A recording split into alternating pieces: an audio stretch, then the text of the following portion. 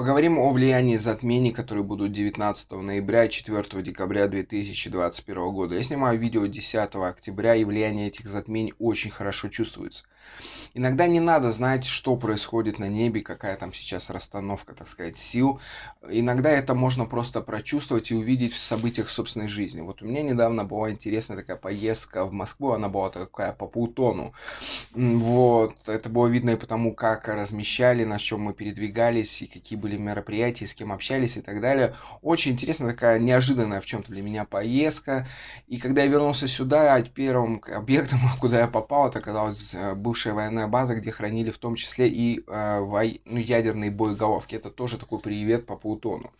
Но там же, неожиданно для меня, получилась такая ситуация, что мне предложили полетать на частном там самолете. Очень приятные такие впечатления, но здесь фишка в чем, что вот это уже уран. Вот полеты на самолете, неожиданности, вообще неожиданностей в последнее время очень много. И вот в мире, например, там э, сбои известных соцсетей происходят, причем там повторные, одна из стран оказалась вообще без света, это все уранические истории. Хотя на небе прямо сейчас, да, 10 октября, уран не, ну, не так активен. И отсюда вопрос, а откуда эти энергии? Решил посмотреть, какие энергии несет затмение. И вот там, поверьте, урана хватает более чем. Во-первых, там идет четкая позиция 19 ноября Уран-Марс. А это очень жестко с точки зрения астрологии. Это предвестник очень многих, скажем так, жестких именно уранических событий. Плюс к этому само затмение, сеть, она идет определенными сериями, она очень завязана на уране, прям очень при очень. И получается очень сильная активизация истории урана. И в этом, кстати говоря, есть и хорошая сторона, об этом я сейчас тоже скажу, но есть и очень жесткие. Например, э, серия этих затмений, она была в 2003 году, и этот год отличился самыми массовыми в истории отключениями электричества по миру. Например, Италия, часть а, Австрии, Швейцарии остались без электричества. Там 56 миллионов человек сразу из одного упавшего дерева, кстати. В США там тоже около 60 миллионов э, жителей США и Канады остались без электричества, в том числе и такой город, как Нью-Йорк. Вот. И ряд целых других стран в разное причем время а, оказывались без электричества. В том числе и в России были очень мощные такие веерные отключения по разным причинам. А, вот, то есть это затмение, оно очевидно несет энергии урана и, скорее всего, не проиграются через или вот сбой сетей, которые уже сейчас происходят, или вообще полное отключение электричества на очень огромных площадях, поэтому не пугайтесь, запасайтесь просто свечками. Такое может произойти. Могут быть очень разные факторы, почему это произойдет, но вероятность этого в ближайшие месяцы, то есть это октябрь, ноябрь, декабрь, январь, возможно даже февраль, очень высокий. Вот, потому что энергии очень превалирующие в этом плане. Далее, это тема авиакрушений, захватов самолетов, э, когда самолеты сбивают, это все тоже уран. Я смотрел серию этих затмений, происшествий, и там одни из самых громких авиакрушений в истории были. Вот именно в эту серию они попадают. Или какие-то очень странные обстоятельства. Например, в Советском Союзе а, в свое время угнали самолет. Один летчик представил другому летчику нож, и в общем, заставил его угнать самолет в э, Китае. Ну, за что он там отсидел в самом Китае, потом был экстрадирован, еще отсидел потом в России. Да, то есть какая печальная история со всех сторон.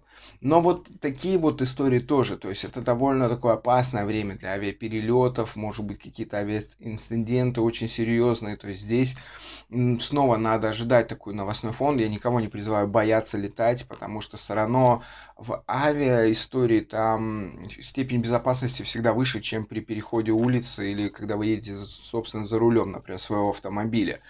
Там все очень дублируется, проверяется, но все равно именно в такие моменты эта история более опасна. Конечно, тема космической отрасли будет активна, кто-то что-то куда-то будет запускать, летать, может быть, снова такие, могут быть крушения. Но, как правило, кстати, по космосу там обычно какие-то более приятные, скажем так, происходят истории.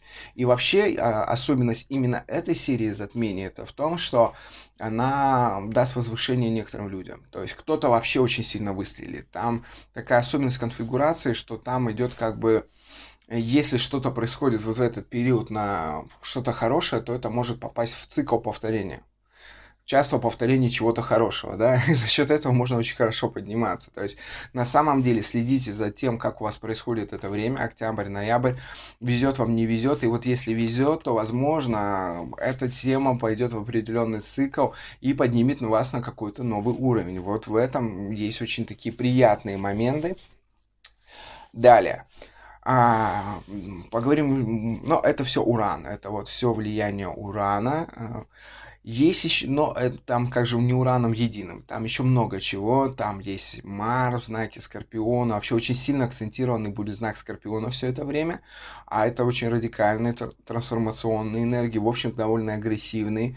А, и плюс к этому вот 4 декабря, вот то затмение, которое будет, оно активизирует а, Растабан звезду и в зоне Стрелец. В общем, очень воинственное положение, и Растабан это еще звезда, которая Э, любит э, как бы деньги нечестно нажитым путем, где-то у кого-то отобрать, э, смахинировать и тому подобные вещи. Возможно, повторится ситуация, которая когда-то была в Нью-Йорке, когда там выключили весь свет в городе и начался хаос, начались грабежи, изнасилования, убийства, нападения банд на богатые районы и тому подобные вещи.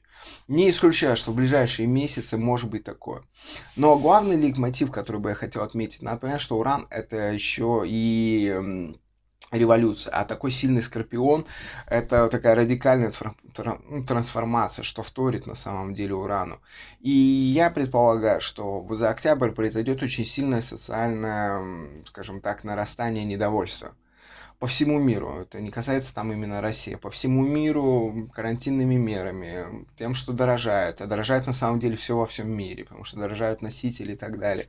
Где-то что-то закрывается. В общем, скорее всего, в ноябре-декабре произойдет такой социальный, ну, такой социальный взрыв в разных частях мира, возможно, какие-то погромы, выдвижение новых лидеров, каких-то там, которые расскажут о новом светлом будущем и так далее. То есть в каком-то смысле это такое время новых выборов, да, то есть я уже делал свой прогноз на выборы по России в Думе и говорил, что там ничего интересного не будет, будет вот такая расстановка, она такая получилась. А вот по-настоящему такие изменения во власти и так далее, возможно, именно в ноябре чтобы, скажем так, погасить определенное волнение, и плюс там очень сильно вот это влияние Скорпиона, возможно, какие-то перестановки. Хотя я говорил, что Путин в этом году может уйти, но видите, я ошибся, так что здесь я тоже могу ошибаться, но все же, по астрологии есть шанс, что именно в ноябре-декабре в России могут произойти серьезные, в том числе, ну, и не только у нас, в общем, да, изменения и во властных структурах, э, потому что э, энергии очень такие радикально трансформационные. Ну и плюс возможность мировых событий в плане войн очень будет высока, причем это могут быть неожиданные начала их, что-то, какое-то происшествие, и после чего, как цепная реакция, принцип домино, пойдет. Где это будет, предсказать сложно, потому что огромное сейчас количество стран находится в очень напряженных отношениях. Там, например, ситуация вокруг Тайваня, или там Азербайджан, Иран на границе, или там Азербайджан, Армения на границе, или там Турция, там Россия в Сирии, там и так далее. Очень много точек, э, где, где возможно в любой момент что-то пойти не так, и на все начнут там стрелять, бомбить бомбить и тому подобные вещи. Но из этой серии затмений, затмений видно, что это оно имеет особое отношение к Йемену, где уже давно идет война, и там сейчас все подходит к радикальному решению вопроса, то есть, скорее всего, одна сторона уже прям точно выиграет, и вот, скорее всего, в ноябре просто будет такой финальный штрих. Но для большинства это как бы ненужная информация, да. Вот. Э, скорее всего, в истории Китая. Всегда у Китая в этот момент что-то происходит, поэтому вокруг Китая точно будет какой-то информационный какой-то момент. И в США. В США, возможно, и тут очень Трамп очень интересно себя заявил в свое время, что вот он уйдет, и все, Америка погрузится в хаос, тут не будет ни электричества, ни связи, ничего, и тогда Трамп придет. Вот по, с точки зрения астрологии, вот это реально момент, когда похожая ситуация может произойти, и реально возможно Трамп э, попробует воспользоваться ситуацией. Почему нет? Вот. Но меня, честно говоря, вообще напрягает вот это ощущение декабря, ноября, очень для меня все-таки пугающим по какому-то интуитивному восприятию. но мне очень напоминает декабрь 2019 года. А, вот, я снимал видео, говорю, что у нас предстоят очень непростые времена, и так получилось, да, ковид на два года. А, вот, и вот сейчас при... похожее ощущение, что идет что-то прям грандиозное, и это прям пугает. И тогда и сейчас произошла одинаковая ситуация перед затмениями. Это ЧП с американскими подлодками в Южно-Китайском море. Тогда что-то там непонятное произошло, и потом вот появилось именно в этой, кстати, южно, вот в этой э, Юго-Восточной Азии, да, коронавирус. И сейчас э, что, на что-то напоролась американская подводная лодка, там снова были учения, снова напряжение США. И вот такое ощущение, что какого-то дежавю. Вот, ну, я хочу ошибаться, прям честно хочу ошибаться, потому что все-таки 2022 год дает более приятные энергии, и на то, насколько эти будут, скажем так, энергии приятные, будет зависеть то, как пройдет именно ноябрь. Потому что октябрь о, это просто энергоболото. Вот с коронавирусом, который говорил, что будут карантины, будет очень большая заболеваемость, вот все так и происходит. Вот. И э, здесь навряд ли произойдет что-то прям радикальное, какой-то какой-то радикальный переход. А вот в ноябре вероятность радикального перехода, она резко возрастает. В том числе надо понимать, что и в теме, например, биржевой активности там могут, может очень сильно потрясти, потому что уже трясет уже рекордные цены там были на газ, на кремний, на редкоземельные металлы, там, в общем, курсы валют начинают там отступать, везде какое-то движение, Путин выразился, что есть какая-то, скажем так, истерия на европейских рынках, потому что на самом деле э, такая тупиковая ситуация в мировой экономике созревает, но мы здесь сейчас не будем об этом. В общем, я всем желаю удачи. А, в ноябре-декабре месяце удачно пройти э, эту серию затмений, да. А, и э, отдельно, да, по знакам еще стоит добавить, что смотрите, особое внимание для скорпионов, особое внимание для тельцов, особое внимание для близнецов и особое внимание для стрельцов, потому что там идет активность именно на их осях, а значит а, так или иначе она очень серьезно повлияет на их жизнь, и здесь надо быть осознанным, надо быть в моменте, да, смотреть, что происходит и правильно реагировать. А для этого, как я говорю, надо быть не замученным. Потому что если вы бежите, если вы устали, вам ни до чего уже нет дела, вы что-то, ну, какой-то момент не, не увидите, не поймете, не сделаете правильный вывод. Поэтому рекомендую всем замедлиться, отложить э, важные дела и просто отслеживать, что происходит, и максимально правильно на это реагировать.